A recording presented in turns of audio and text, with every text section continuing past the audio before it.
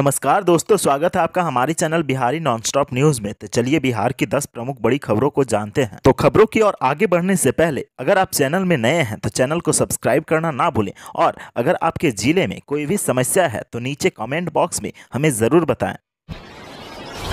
पटना में 26 जनवरी को बदला रहेगा ट्रैफ़िक रूट। आम लोगों के लिए बंद रहेंगी ये सड़कें। पटना के गांधी मैदान में 26 जनवरी को आयोजित गणतंत्र दिवस समारोह को लेकर कई सड़कें आम लोगों के लिए बंद रहेंगी। गणतंत्र दिवस पर 26 जनवरी को गांधी मैदान में राज्यपाल 9 बजे झंडोत्तोलन करेंगे। इसको लेकर ट्रैफ़िक प्लान जारी किया गया है। आज ही आप जान लीजिए पटना का ट्रैफ़िक। उस दिन फ्रेजर रोड की पश्चिमी लैंड डाक बंगला चौराहे ऐसी गांधी मैदान तक सुबह सात बजे ऐसी कार्यक्रम समाप्त होने तक आम लोगों के लिए बंद रहेंगी। यह लेन राज्यपाल, मुख्यमंत्री और उप मुख्यमंत्री के कारकेड, उनके परिवार के वाहनों और अति विशिष्ट अतिथियों के लिए रिज़र्व रहेगी। वहीं न्यू डाक बंगला रोड से एसपी वर्मा रोड में वाहन परिचालन पर रोक रहेगी। पटना जंक्शन फ्लाईओवर से राम गुलाम चौक की ओर भी वाहन नहीं जाएँगे। कोतवाली टी से पुलिस लाइन तक पूरब की ओर जाने वाले सभी मार्ग कार्यक्रम के समापन तक बंद रहेंगे। देशरत्न मार्ग से डाकबंगला चौराहा और फ्रेजर रोड में डाकबंगला चौराहे से जेपी गोलंबर और चिल्ड्रन पार्क से कारगिल चौक तक वाहनों की पार्किंग नहीं होगी। बिहार में ड्राइविंग लाइसेंस बनाने के नियमों में किया गया बदलाव। जानिए पूरी डिटेल। बिहार में ड्राइविंग लाइसेंस बनवाने के नियम में बदलाव कर दिया गया है। आए दिन हो रही सड़क दुर्घटनाओं को देखते हुए परिवहन विभाग ने इन बदलावों को अमल में लाने के लिए निर्देश दिए हैं। बता दें कि जिस ज़िले में लर्निंग लाइसेंस बनाया गया है, वहीं से स्थायी लाइसेंस भी बनेगा। वहाँ चालक अब दूसरे ज़िले से स्थायी लाइसेंस बनाने का ऑप्शन खत्म कर दिया गया है। इस मामले में परिवहन विभाग ने बिहार के सभी जिलों के जिला परिवहन अधिकारी को लेटर लिखकर सॉफ्टवेयर में आवश्यक व्यवस्था व्यवस्था कराने का निर्देश दिया है। बता दें कि अब तक कोई भी लर्निंग लाइसेंस कहीं से भी स्थायी लाइसेंस बनाने का ऑप्शन था। इस वजह से जिन जिलों ऑटोमेटिक ड्राइविंग टेस्ट अनिवार्य है, वहाँ से लर्निंग लाइसेंस बनाकर दूसरे जिलों में जाकर बिना टेस्ट दिए स्थायी लाइसेंस बना लेते थे। इससे वाहन चालक गाड़ी चलाना नहीं सीखते थे और दुर्घटनाग्रस्त हो जाते थे। परिवहन विभाग ने ठीक से नहीं सीखने की वजह से हादसे होने की बात कही थी। आपको बता दें कि पटना में तीन जनवरी से पंद्रह जनवरी तक ऑनलाइन अप्लाई का ऑप्शन लाइसेंस सहित ऑनलाइन टेस्ट का भी स्लॉट बुक नहीं हो रहा था। लाइसेंस फेल हो रहा था। उन्होंने दूसरों जिलों में जाकर स्थायी लाइसेंस के लिए आवेदन कर दिया है। स्थायी लाइसेंस के लिए तेईस सौ रुपये का चालान काटना पड़ता है। अलग से स्लॉट बुक करने का पचास रुपये देने पड़ते हैं। अब इससे हज़ारों आवेदकों का लाइसेंस फंस सकता है। बीएसईबी ने छात्रों को दी बड़ी राहत। अब जूते मोजे पहनकर दे सकेंगे परीक्षा। बिहार में इंटर की परीक्षा एक फरवरी से शुरू होने वाली है। इससे पहले बिहार विद्यालय परीक्षा समिति ने छात्रों को बड़ी राहत दी है। अब छात्र जूता मोजा पहनकर परीक्षा दे सकेंगे। बिहार विद्यालय परीक्षा समिति ने इस संबंध में नोटिस जारी किया है। शीतलहर को देखते हुए यह फैसला लिया गया है की अब छात्र जूता मोजा पहनकर परीक्षा दे सकेंगे। इस बात की जानकारी बिहार बोर्ड ने सभी छात्र अभिभावक डीईओ के साथ साथ नोडल अधिकारियों को दी है। इससे पहले जो गाइडलाइन जारी किया गया था, उसके तहत जूता मोजा पहनकर छात्रों को परीक्षा केंद्र में प्रवेश की अनुमति नहीं थी। सिर्फ़ चप्पल पहनकर परीक्षा भवन में जाने की अनुमति थी। एक फरवरी से चौदह फरवरी तक इंटर की परीक्षा होने वाली है, जिसमें तेरह लाख से अधिक परीक्षार्थी शामिल होंगे। इंटर की परीक्षा दो शिफ्टों में होगी। सुबह साढ़े नौ बजे से दोपहर बारह बजकर पैंतालीस तक पहले शिफ्ट और दोपहर एक पैंतालीस से पाँच बजे तक दूसरे शिफ्ट में इंटर की परीक्षा होगी। परीक्षा केंद्र पर जाँच के बाद ही छात्र छात्राओं को परीक्षा भवन में जाने दिया जाएगा। बिना मास्क लगाए किसी को प्रवेश नहीं मिलेगा। इंटर परीक्षा में शामिल होने वाले सभी परीक्षार्थियों को कोरोना का टीका लगा होना अनिवार्य है। ऐसे में जिन छात्रों ने अब तक वैक्सीन नहीं ली है, उन्हें टीका ले लेना चाहिए।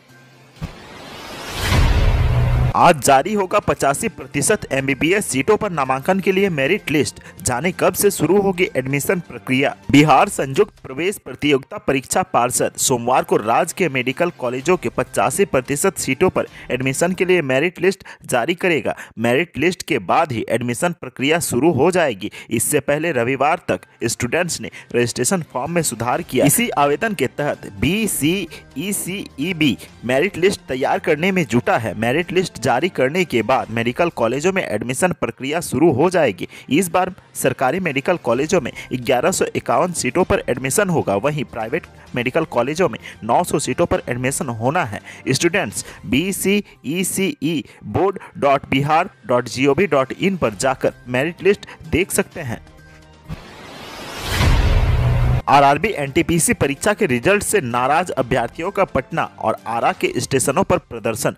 ट्रेन सेवा बाधित। आरआरबी, एनटीपीसी के रिज़ल्ट घोषित होने के बाद अभ्यर्थी आक्रोशित है। रिज़ल्ट में धांधली का आरोप लगाकर अभ्यर्थी बड़ी तादाद में पटना और आरा के रेलवे ट्रैक पर जमे हुए रहे। पटना के राजेंद्र नगर टर्मिनल पर अभ्यर्थियों ने धरना दिया था। वहीं आरा स्टेशन पर भी अभ्यर्थी जम गए। नाराज़ अभ्यर्थियों को रेल व पुलिस प्रशासन के द्वारा लगातार समझाया जा रहा था, लेकिन अभ्यर्थी अपनी मांग को लेकर जमे हुए रहे। दरअसल यह मामला बीते सोमवार का है। राजेंद्र नगर टर्मिनल पर सोमवार को आरआरबी, एनटीपीसी के छात्रों ने छह घंटे तक ट्रैक जाम कर हंगामा किया। छात्रों के हंगामे से राजेंद्र नगर टर्मिनल से खुलने वाली तेजस राजधानी, संपूर्ण क्रांति दिल्ली के लिए रवाना नहीं हो सकी। ट्रेन के खुलने का टाइम बढ़ाया गया। वहीं ट्रैक पर छात्रों के हंगामे से दोनों दिशा की ओर से आने वाले दर्जनों ट्रेन जहाँ तहां स्टेशनों पर खड़ी रही।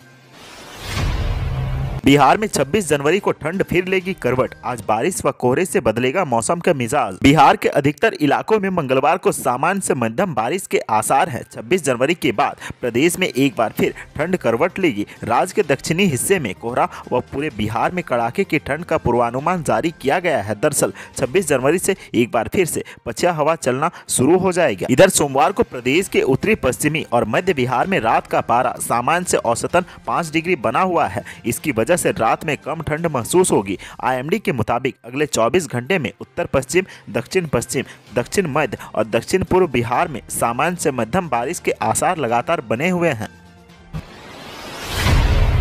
पटना में चला सघन वाहन जाँच अभियान। हुंडई कार से 10 कार्टन शराब बरामद। नशे में धुत, बाइक सवार भी गिरफ़्तार। गणतंत्र दिवस को लेकर संदिग्धों पर कड़ी नज़र रखी जा रही है। तीन दिनों तक पूरा बिहार स्पेशल अलर्ट पर है। इसी के मद्देनजर आज पटना के कई जगहों पर वाहनों की चेकिंग की गई। इस दौरान पुलिस ने दो थाना क्षेत्र में शराब भी बरामद किया है। पुलिस ने एक हुंडई कार से 10 कार्टन शराब बरामद किया तो वहीं नशे में धुत बाइक सवार को भी गिरफ़्तार किया गया। बाइक सवार के पास हाफ़ लीटर देसी शराब बरामद किया गया है। पटना के एसएसपी मानवजीत सिंह ढिल्लो के निर्देश पर कई इलाकों में आज देर शाम जगह जगह गाड़ियों को रोका गया और जाँच की गई। पटना के एसकेपुरी इलाके में गाड़ियों की चेकिंग के दौरान द्वारिका मंदिर के पास एक हुंडई कार खड़ी मिली। कार के अंदर कोई भी मौजूद नहीं था। जब कार को पुलिस ने खंगाला, उसके अंदर से दस कार्टन शराब बरामद हुई, जिसकी कीमत करीब दो लाख रुपये बताई जा रही है। कार के नंबर के आधार पर पुलिस कार ऑनर से संपर्क करने में जुटी है। पुलिस को इस बात का पता चला कि कार में मिली शराब को पटना में सप्लाई करने की योजना थी।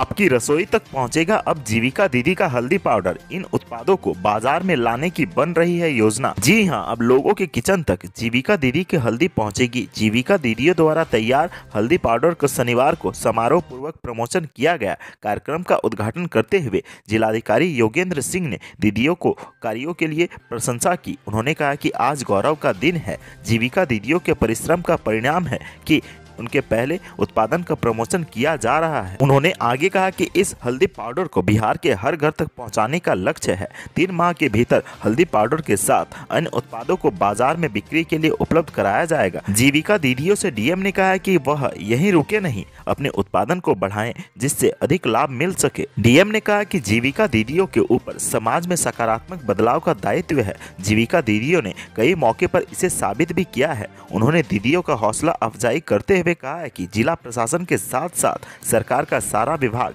आपके सहयोग में हमेशा तत्पर है। जिला कृषि पदाधिकारी विकास कुमार ने कहा है कि जीविका दीदियों के संघर्ष की कहानियाँ सर्वविदित है। जीविका दीदियों ने छोटे छोटे प्रयासों से बेहतर परिणाम दिया है। बिहार में धड़ल्ले से इस्तेमाल हो रहे हैं होम टेस्टिंग किट। जाँच रिपोर्ट को लेकर स्वास्थ्य विभाग का बड़ा बयान। बिहार में कोरोना के मामले तेज़ी से बढ़े तो कोविड टेस्ट में भी सरकार ने रफ्तार तेज कर दी कोरोना की तीसरी लहर के दौरान। बिहार में लोग होम टेस्टिंग किट का भी इस्तेमाल काफ़ी अधिक कर रहे हैं। इस किट को लेकर स्वास्थ्य विभाग के अपर मुख्य सचिव प्रत्यय अमृत ने बड़ा बयान दिया है। उन्होंने इस किट से जाँच के बाद रिपोर्ट की कानूनी वैधता को लेकर सरकार का पक्ष रखा है। स्वास्थ्य विभाग की ओर से आयोजित वर्चुअल प्रेस कॉन्फ्रेंस में अपर मुख्य सचिव ने बताया कि कोरोना जाँच के लिए तैयार किए गए होम टेस्टिंग किट को आईसीएमआर ने अप्रूव किया है। इससे कोई भी व्यक्ति अपनी जाँच कर सकता है। बिहार के मिडिल स्कूल भवन में फर्जी बीएड संस्थान चलाए जाने का मामला राज्य सरकार को 48 घंटे में रिपोर्ट प्रस्तुत करने का आदेश। पटना हाईकोर्ट ने पूर्वी चंपारण के ढाका अंतर्गत तेलहारा खुर्द गाँव के एक मिडिल स्कूल भवन में एक फर्जी बीएड संस्थान चलाने के मामले पर सुनवाई करते हुए राज्य सरकार को 48 घंटे में कार्रवाई कर रिपोर्ट प्रस्तुत करने का आदेश दिया है। विद्या देवी की जनहित याचिका पर चीफ जस्टिस संजय करोल की खंडपीठ ने सुनवाई की है। इस जनहित याचिका पर सुनवाई करते हुए कोर्ट ने बी आर अंबेडकर विश्वविद्यालय से जवाब तलब करते हुए बताने को कहा है कि ऐसे मामले में इस बीएड कॉलेज को कैसे मान्यता दे दी गई? इस मामले की पिछली सुनवाई में हाईकोर्ट ने एडवोकेट इति सुमन को अधिवक्ता आयुक्त नियुक्त करते हुए स्थल का निरीक्षण कर कोर्ट को वास्तु स्थिति की जानकारी देने का अनुरोध किया था, जिसके बाद एडवोकेट इति सुमन ने कोर्ट को रिपोर्ट पेश करते हुए बताया कि उक्त गाँव में कोई engineer Upendra Sharma teachers training college का कोई भवन नहीं स्थानीय ग्रामीणों ने इस नाम के किसी संस्था के होने के बारे में अनभिज्ञता जताई है। इस गाँव में केवल एक मिडिल स्कूल ही चलता है। आज की सुर्खियों में बस इतना ही। बिहार से जुड़ी खबरों के लिए सब्सक्राइब करें हमारे चैनल को और साथ ही साथ वीडियो अगर पसंद आए तो लाइक, कमेंट, शेयर करना ना भूलें।